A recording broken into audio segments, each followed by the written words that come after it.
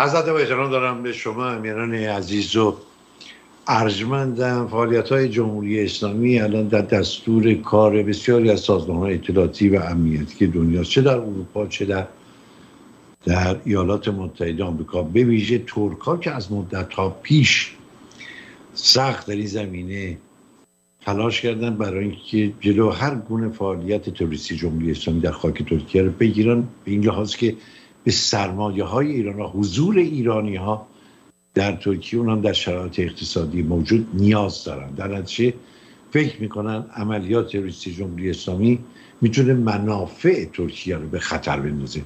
دیگه مثل سابق نیست. دیگه در رو باز نمی‌کنن و عملیات جمهوری اسلامی رو ندیده نمی‌گیره نه.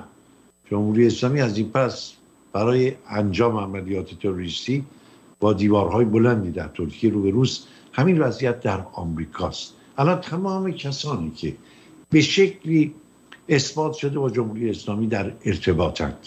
اینا الان توسط دستگاه اطلاعاتی امنیتی دارن رسد میشن. رفت آمد بین کانادا و آمریکا دشوار شده برای خیلی ها بسیاری که به عنوان نوچیش نوچیش مذهبی حالا یا مسیحی و ادیان دیگه به اروپا می آمدن اثبات شده بر سازمان های اطلاعاتی و امنیتی در اروپا به در آلمان که اینا عوامل جمهوری اسلامی هست به اینا میان پناهندگی می‌گیرن و سعی می‌کنن که در جامعه ایران نفوذ داشته باشن. به اینها دیگه به سادگی روادید داده نمیشه. با چی هستیم؟ با آقای مهندس امیر حسین اعتمادی عزیز تحلیلگر پژوهشگر سیاسی در شرق ایالات متحده آمریکا. برنامه هم رضا کیان هدایت می‌کنه. از این سپاسگزارم. آقای اعتمادی درود بر شما. خوش آمدید. درود بر شما جناب بودی درود به بینندگان شما و همکاران شما. امیدوارم که خوب سلامت باشید. آقای هیچ وقت این همه حساسیت در دستگاه اطلاعات امنیتی آمریکا نسبت به فعالیت های مخفیانه جمهوری اسلامی وجود نداشته و این همه تلاش برای شناسایی تهمانده کسانی که شاید هنوز ناشناس مونده باشن بفرمایید. بله جناب مگودی بعد از کشتن قاسم سلیمانی به نظر می‌رسه که این مقامات جمهوری اسلامی ترور در خاک آمریکا و یا ترور مقاماتی که در کشتن قاسم سلیمانی نقش داشتن رو در دستور کار قرار دادن و این مصادف شد به ویژه با روی کار آمدن دولت بایدن که احتمالا جمهوری اسلامی تصور می‌کنه که نسبت به دولت ترامپ واکنش ضعیفتری رو هر گونه ترور مقامات آمریکایی نشون خواهد به ویژه که اختلافات داخلی آمریکا رو هم اینها زیر نظر دارن. شما اگر همین موضوع اخیر رو در نظر بگیرید که چند روز قبل همین چند روز فاش شده مسئله ترور طرح ترور جان بولتون مشاور امنیت ملی آقای پرزیدنت ترامپ می‌بینید که یک عجله اینها داشتن برای اینکه این ترور در سال روز قتل سلیمانی انجام بشه. یعنی فردی که در ایران آقای شهرام پورصفی که در واقع این رو هدایت می‌کرده از داخل ایران البته در تله اف بوده و کسی که او به گمان خودش استخدام کرده بوده از آغاز داشته با اف همکاری می‌کرده و فرد مورد اطمینان اف بوده با او او در واقع داشته بازی می‌داده پورصفی ولی در صورت اون شهادت نامه‌ای که مامور اف به وزارت دادگستری آمریکا به دادگاه منطقه‌ای فدرال در واقع در واشنگتن دی سی ارائه کرد بخونید. می‌بینید که او تاکید می‌کنه که بله اگرچه قرارمون نبود اما اگر در سالروز کشتن قاسم سلیمانی این اتفاق میافتاد خیلی برای من بهتر بود که به مقامات موافق خودم گزارش بدم و یک شانس بهتری داشتیم. و موارد دیگر رو هم شما ببینید. می‌بینید که به نظر می‌رسه در جمهوری اسلامی طیفی که الان قدرت بیشتری هم حتی از قبل داره احساس می‌کنه که با این نوع عملیات عملیات های ترور عملیات های در واقع خرابکاری در منطقه حتی نه فقط ترور ترور عملیات تروری که طراحی می‌کنن خرابکاری می‌تونه باج بیشتری بگیره برای اون که اون سپر امنیتی خودش رو بزرگتر بکنه اون چتری امنیتی که برای خودش درست کرده بزرگتر بکنه. برمیگرده به نحوه مواجهی که غربی ها به ویژه آمریکا در مقابل این این نوع رفتارها از خودشون می‌تونن نشون بدن. هر چقدر جمهوری اسلامی احساس کنه باج بیشتری می‌تونه بگیره در انجام این نوع کارها جسورتر بشه. آیا جوادی جمهوری اسلامی ماهاست. تقریبا تمام عملیات تروریستی در بیرون از کشور با شکست رو بروشن کشورهای مختلف. بسیاری از طرحهای نظامیش و امنیتیش. در یمن بگیرید در سوریه در عراق. عملیات تروریستی که می‌خواست علیه جان خیلی ها انجام بده هیچ کدام عملی نشد موفق نشدن. در ترکیه چندین نوبت عملیاتش کشف و خونسا شد. حتی شماری از عوامل امنیتی جمهوری اسلامی یا سپاهی جمهوری اسلامی رو دستگیر کرد. در اروپا به همین ترتیب در جریان همه هستند و به الاخره الان در آمریکا که یکیش مربوط به خانم مسیح علی نژاد می‌شد و بعد این جان بولتون و بقیه. حالا سالم از شما اینه که آیا دستگاه های امنیتی در ایران دوچار ضعف و فتور شدن مثل سابق نیستن یا اون اقتدار سابق رو ندارن یا اینکه نه دستگاه اطلاعات امنیتی جهان غرب و کشورهای دیگه در برابر عملیات و اقدامات جمهوری اسلامی قویتر نیرومندتر و آگاهتر شدن. کدامش به نظر شما؟ به نظر من هر دو. من گفتم قبل از این به این سوال شما پاسخ بدم در واقع هم یه مقدمه بگم. از همون ترور هایی که در اینا در دهه 60 و 70 خورشیدی در واقع دهه 80 90 میلادی انجام دادن و موفق هم بود.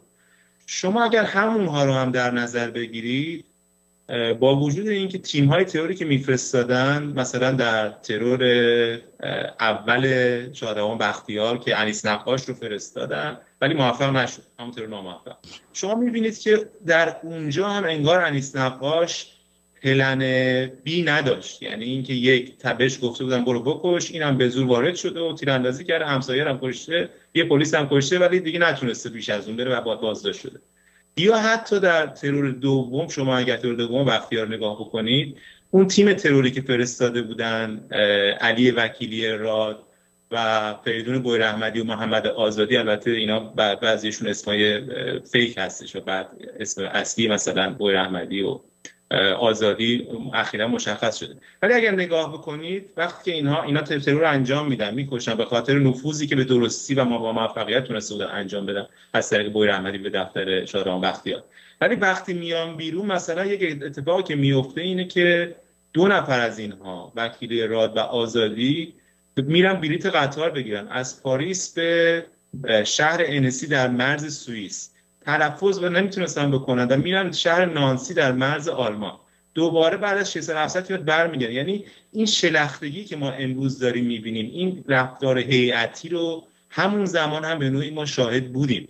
یا در ترور قاسملو خود اون آقای جعفر جعفری رودی که الان از مقامات ارشد هم هست از نزدیکان لایجانی و قالیباف و این هاست او خودش با زخمی میشه. در خیابون میاد با زخمی میفته. یعنی این باز در مورد ترور قاسم هم باز ما این مورد رو می‌بینیم که گویی فقط می‌خواستن ترور رو انجام بدن و بعدش برنامه نداشتن.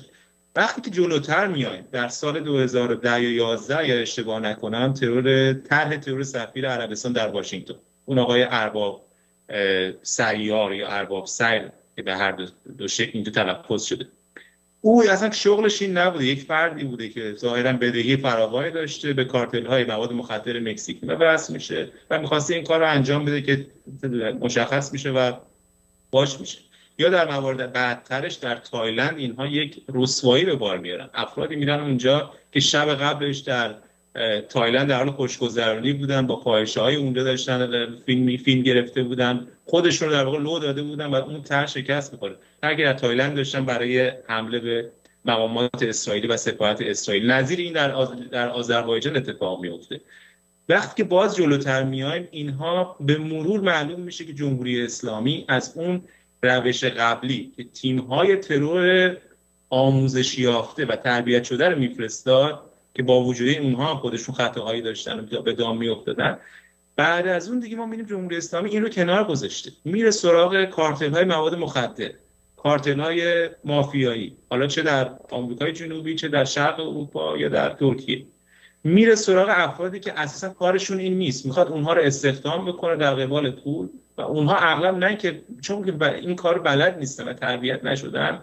خرابکاری می‌کنن مثل مورد تایلند یا موردایی که اخیرا در ترکیه اتفاق افتاد و همهشون بازداشت شدن یا فکر می‌کنم همین مورد اخیر در مورد جان بردن. یعنی می‌خوام بگم این مورد در نظر داشته باشیم که جمهوری اسلامی یعنی ضعیفتر شده. تیم های تئوری که میفرسته اینا حرفه‌ای نیستن. اینا افرادی هستن که یا اساسا ایرانی نیستن کارتل مواد مخدر اگه شغلشون شاید چیز دیگه ای باشه.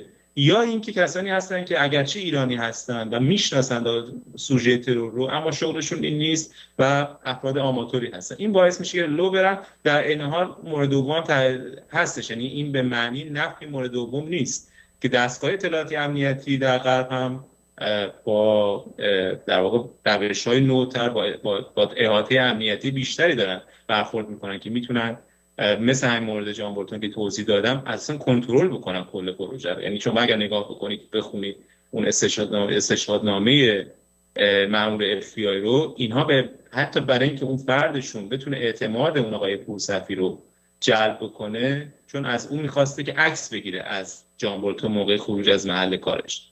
و با هماهنگی جان بولتون از جان بولتون عکس می‌گیرن برای او میفرستن که او اعتماد بکنه و احساس بکنه که این فرد داره از عهده این کار برمیاد و داره کار جلو می‌بره.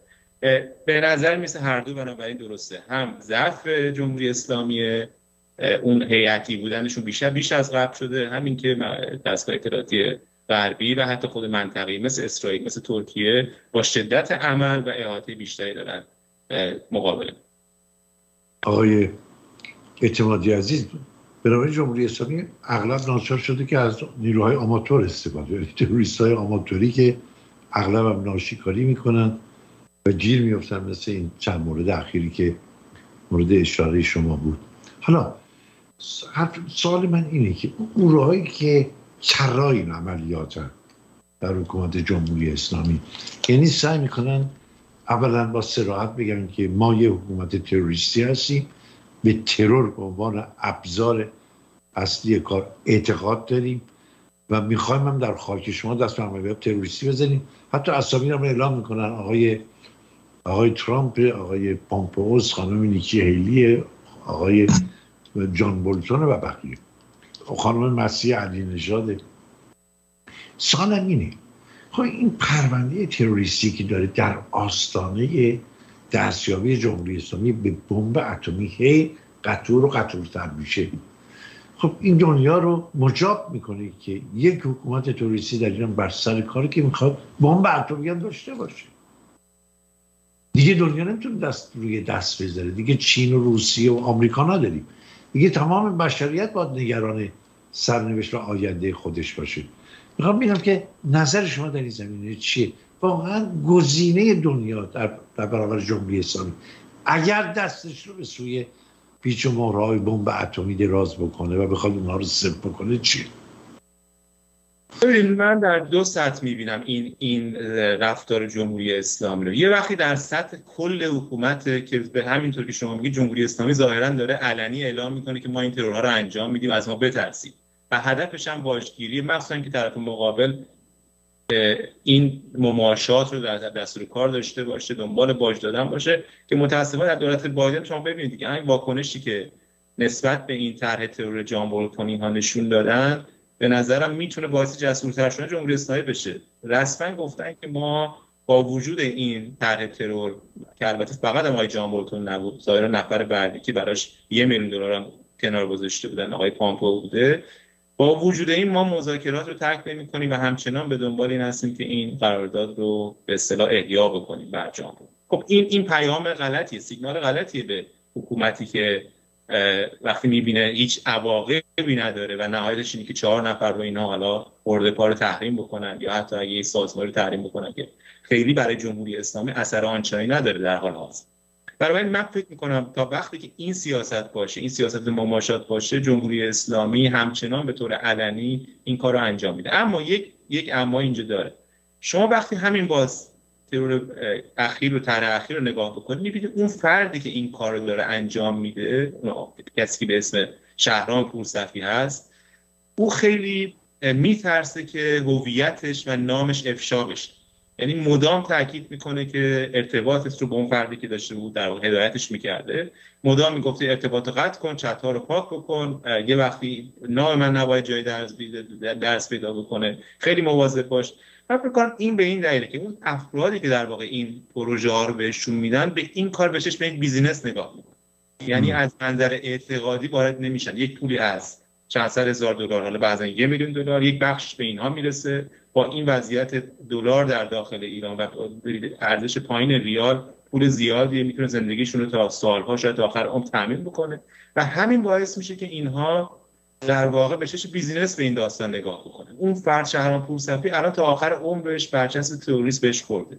از ایران نمی‌تونه به راحتی خارج بشه. یا باید یا اصلا نمی‌تونه یا باید با شناسه جعلی با ترس و لرز از ایران خارج در داخل کشور کسی احتمالا حاضر نیست به اون نزدیک بشه. در صورتی که او می‌خواسته از این زندگی بکنه. می‌خواسته پول در بیاره که زندگیش رو بهتر بکنه. زندگی لوکس داشته باشه ماشین لوکس سوار بشه این در این سطح برای ما ببینیم افرادی که درگیر هستن اونا افراد معتقدی نیستن. یعنی براشون فقط پول مهمه اون کاری که دارن می‌کنن و زندگی بهتر داشته باشه. اما وقتی که در سطح بالاتر نام اینها فاش میشه مثل مورد اخیر این می‌تونه باعث در واقع این بشه که عده کمتری حاضر باشن در این پروژه ها نقش پیدا کنن. یعنی من از این جهت کار دستگاه در دادگستری و اف بی آی رو تایید می‌کنم که اومدن افراد خورده پا رو فاش کردن اسمشون. برای اینکه این افراد برای جمهوری اسلامی هیچ ارزشی نداره این افراد نشون داده جمهوری اسلامی که حاضر اینها رو قربانی بکنه. حتی در یک رو ممکنه خود اینها رو سربنیست بکنه برای اینکه اون هدف بزرگترش برسه. هر چقدر اینها رسوا بشن اسامیشون فاش بشه می‌تونه به سیستم ترور جمهوری اسلامی ضربه بزنه کما اینکه زده و به همین دلیل هم که اون افراد اصلی حاضر نیستن که در اینجور توطئه ها در اینجور طراحی ها نقش بازی کنن و میدن به این افراد آماتوری که براشون اصلا مهم نیست واقعا. سیستم براش مهم نیست که اینا چه بلایی سرشون. آیا اعتمادی چه اطلاعی دارید در زمینی که آیا این مجموع عملیات تروریسم طرحها جز سیاست های رسمیه؟ یعنی مثلا رهبر جمهوری اسلامی هم در جریانشه یا شورای عالی امنیت ملی؟ یا اینکه نه گروه هایی هستن و این عملیات رو خودشون به صورت نیروهای آتش به اختیار انجام میدن برای اینکه خوش خدمتی بکنن.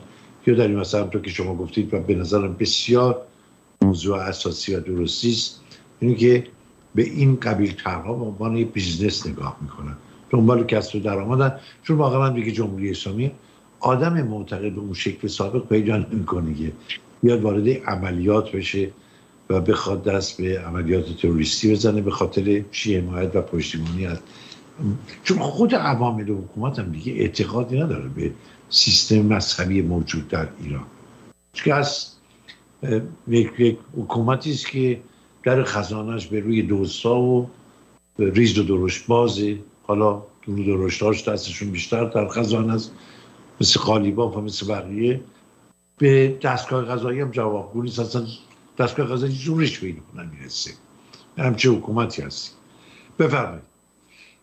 ببینیم ما با توجه به سابقه قدیمی یعنی اون چیزی که در دهه همون 60 و 70 خورشیدی می‌بینیم می‌تونیم بگیم که این نوع ترورها اگرچه جزئیاتش رو ممکنه در سطح بالا خبر نداشته باشن ولی اصل ترور و دستور ترور از بالاترین سطح می‌بره. مثلا شما اگر کتاب خاطرات رفسنجانی رو بخونید او پیش از این که چون می‌دونید مثلا ترور بختیار تقریبا دو روز بعد اعلام شد. اینا دو روز تقریبا زندیات بختیار پاسخ نمی‌داد به تلفنش و در این حال اون مامورینی که اونجا بودن اطلاع نداشتن کشته شده. حالا یا می‌دونستن و سهلنگاری کردن اعلام نکردن.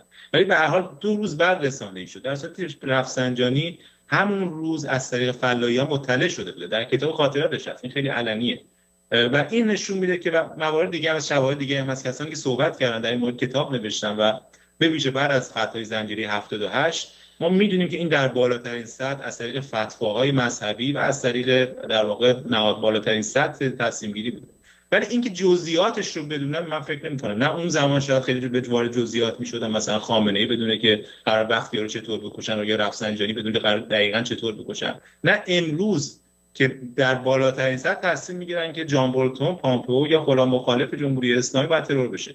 ولی این جزئیات رو میسپرن به اون تیم های کوچیک و ممکنه حتی یک نوع رقابت هم ایجاد بکنن. یعنی مثلا یک مبلغی رو بذارن در این استشهادنامه این چنین اینم برمیاد که عجله دارم برای کشتن برای اینکه اون پورسفی میگه که ممکنه این تر رو از من بگیرم بدم به گروه دیگه. یعنی یک رقابت هم بین این گروه هایی که این جوخه هایی که در واقع این ترور رو انجام بدن هست بر سر اون بیزینسی که گفتم مبلغ پول و احتمالا روش های مختلفی رو استفاده می‌کنن. یک شلختگی و هیئتی بودنی در سطح پایین هست. ولی من تقریبا تردید ندارم که در سطح بالا اینا تصمیمات رو در بالاترین سطح می‌گیرن و ابلاغ می‌کنن به رده های پایین تر مخصوصا که الان چندین نهاد از جمله سپاه خود از جمله اطلاعات سپاه از جمله وزارت اطلاعات دخیل هستن. فراموش نکنیم مورد اسدالله اسدی که قرار بود طرح ترور در پاریس انجام بده اون انفجار رو انجام بده خودش دیپلمات بوده. ولی او می‌رفته شخصا با افراد مختلف صحبت می‌کرده و تایید شده که او مورد این طرح ترور مورد تایید وزارت اطلاعات جمهوری اسلامی بوده. یعنی در اونجا ما با اطلاعات سپاه درگیر نبودیم. با خود وزارت اطلاعات جمهوری درگیر بودیم که به نوعی وابستگی بیشتری به دولت وقت و در اون زمان دولت روحانی داشته. بنابراین من فکر می‌کنم با در بالاترین سطح اینها تایید میشه اما در سطح سطوح پایین این رو میسپرن به گروه های مختلفی که اغلب هم در این سال همونجوری گفتم چون آماتور و ناشی هستن به شکست خورن. غیر از چند موردی که قطعا با همکاری به نظرم برخی سیستم های اطلاعاتی بوده. از جمله آدم رو که مثلا در ترکیه مدتی کرده من فکر کنم از طریق همکاری هایی بوده که خوشبختانه تو دولت ترکیه اخیرا نشون داده که اون همکاری ها رو کنار گذاشته و داره برخورد. فرانسیس فون هارن خب روزنامه‌نگار خیلی برجسته است در اروپا. تلویزیون ظاهر میشه. از یه خطر فراموش شده سخن میگه. عکسی که اشترن انتخاب کرد به نظرم خیلی بامن است. آقای رئیسی رو نشون میده که لم داده روی صندلی و یک موشک اتمی در دستش. موشک. یعنی در واقع اشارتی است به اینکه حکومت تروریستی داره به بمب اتمی هم نزدیک میشه و صاحب بمب اتمی خواهد شد. تروریست و بمب اتمی فکر می‌کنه که دنیا چطور؟ بتونه این رو حذف بکنه. و چه واکنشی؟ مثلا اسرائیل یا عربستان سعودی یا کشورهایی که در معرض خطر جدی هستن نشون میدن. راستش من فکر می‌کنم این رفتاری که جمهوری اسلامی انجام میده یک فرد تروریستی که در واقع قاضی جنایتکاری مثل رئیسی که برسه به بمب اتمی این خطری هست که کل منطقه رو می‌تونه در واقع در بر بگیره. بنابراین اصلا بعید نیست که دولتی مثل اسرائیل بدون توجه به موافقت یا مخالفت مثلا دولت آمریکا یا اروپایی یا خودش دست به اقدام بزنه. این می‌تونه این کارو قبلا در مورد عراق کرده می‌تونه در مورد ایران هم و جمهوری اسلامی هم همین رفتار رو انجام آقای امیر حسین اعتمادی عزیزم تشکر می‌کنم از حضور شما. حتما گفتگو با این شخصیت مطلع رو پی من میانانم حتما پیگیری کنیم در برنامه های آینده. ممنونم. رضا که برنامه رو که سپاس گذارم